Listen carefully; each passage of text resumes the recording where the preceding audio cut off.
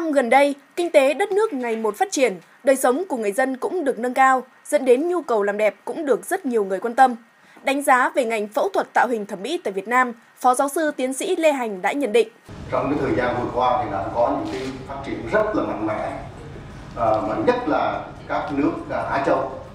và Việt Nam ta cũng không có là không ra ngoài không thông và nói riêng về Việt Nam thì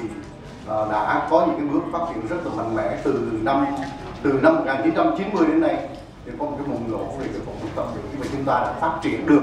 cái ngành phẫu thuật thẩm mỹ cũng như là ngành thẩm mỹ nội khoa và lên được ngang ngang cái tầm của khu vực tầm thế giới. Hiện nay chúng ta đã thấy cái những cái nhu cầu và uh, ờ, cái uh, những cái phát triển về cái, về cái quan niệm về uh, của cái người dân về cái về thẩm mỹ nó trở nên rộng rãi hơn rất nhiều. Hiện nay tại Việt Nam có hơn 300 phòng khám, bệnh viện, cơ sở y tế được cấp chứng chỉ hành nghề và giấy phép hoạt động về phẫu thuật thẩm mỹ, sử dụng các công nghệ làm đẹp khác nhau. Bệnh viện quốc tế Green được đánh giá là một trong những bệnh viện tại Hải Phòng đạt chuẩn quốc tế. Trong đó, khoa phẫu thuật thẩm mỹ tạo hình đã ứng dụng công nghệ thẩm mỹ Hàn Quốc trong việc thực hiện các dịch vụ làm đẹp. Không chỉ là tôn vinh sắc đẹp mà còn giúp khách hàng trở nên đẹp toàn diện hơn.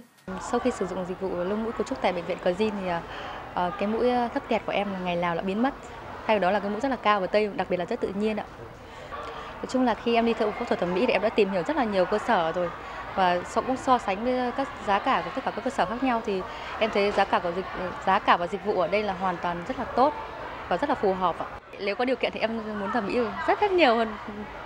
ví dụ như là mắt, môi. Đánh giá về thị trường thẩm mỹ tại Việt Nam, bên lề hành lang buổi hội thảo về phẫu thuật thẩm mỹ do Bệnh viện Green Hải Phòng tổ chức sáng ngày 27 tháng 10, một bác sĩ thẩm mỹ người Hàn Quốc cho biết. Thứ nhất là thị trường Việt Nam là một thị trường mở, rất là tiềm năng và cái thứ hai là Việt Nam với văn hóa Việt Nam với văn hóa Hàn Quốc rất là gần gũi với nhau. Khi người dân Việt Nam xem phim và đọc sách báo về Hàn Quốc đã rất là hâm mộ cái thẩm mỹ của Hàn Quốc, nên là chọn thị trường Việt Nam là thị trường rất là tiềm năng.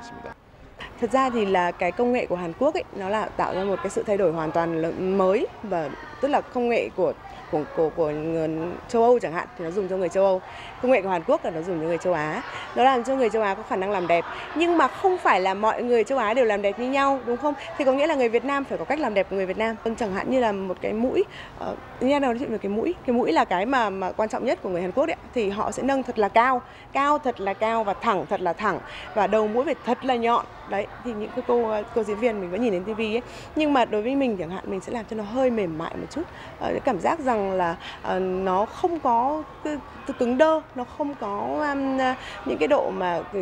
kiểu như là không không có một cái sự mềm già mềm dẻo để cho nó cảm giác là tự nhiên và cái độ tự nhiên thì bao giờ nó cũng tốt hơn nhu cầu làm đẹp cũng đã được rất nhiều chị em thay đổi về cách nhìn nhận bởi họ cho rằng làm đẹp không những cho bản thân mà còn làm đẹp cho xã hội. Là nếu mà nói về phái đẹp thì ai cũng muốn là đẹp. Thế thì chị đến đây là chị trung tâm thẩm mỹ của uh, bệnh viện Gazin này là cũng là một trong những bệnh viện mà các chị cũng nghe thấy cái sự uy tín và chất lượng cũng từ lâu. Nhưng vì điều kiện nên là các chị đến ngày hôm nay thì các chị mới đến được làm đẹp cho mình và cho chính mình ờ, cũng vừa đẹp cho gia đình và cho xã hội ạ.